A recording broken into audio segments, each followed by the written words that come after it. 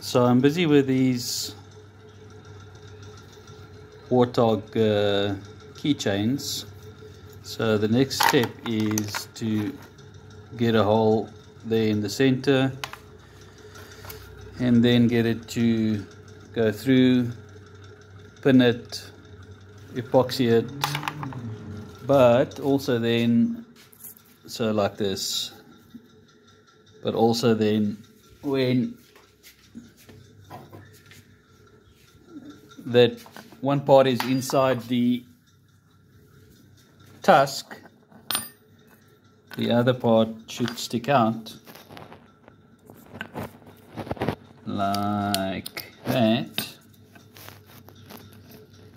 And then